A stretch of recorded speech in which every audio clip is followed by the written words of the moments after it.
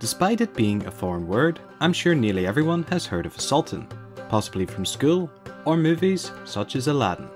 But do you really know what a sultan or a sultanate is? Well stick around because in this video we're going to look at just that.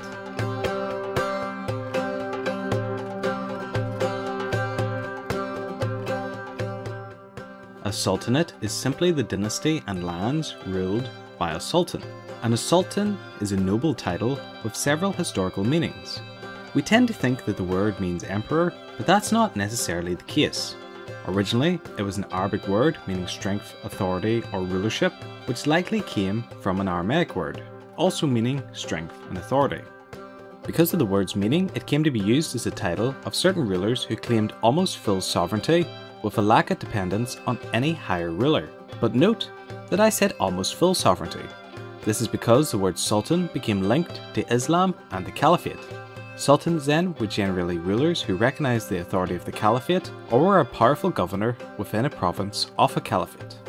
Due to this, modern hereditary rulers who want to emphasise their secular authority under the rule of their nation's laws have gradually replaced the term with king. This is not the only way the word sultan is used.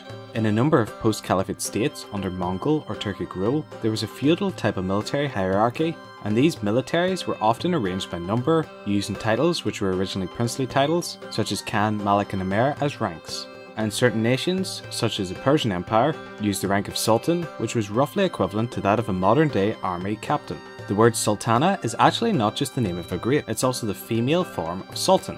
But interestingly, the Ottoman Turks also used sultan for imperial lady because Turkish grammar uses the same words for women as with men.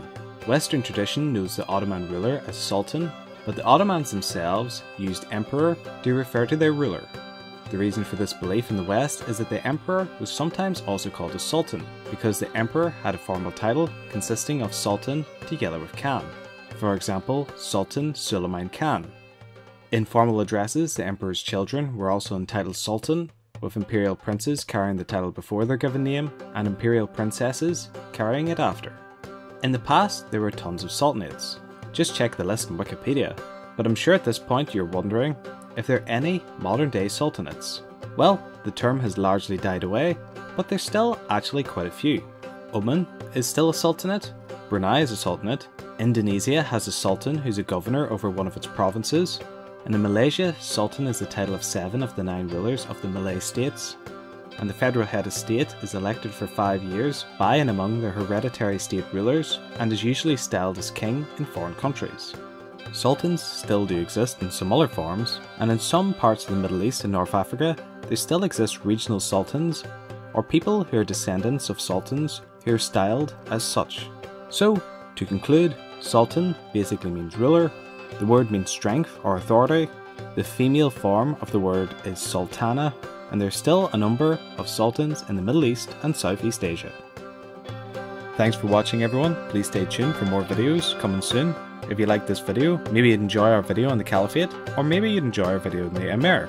If you haven't seen it, you should check out our What's in a Word series, which is currently going through the names of various countries. Thanks again for watching.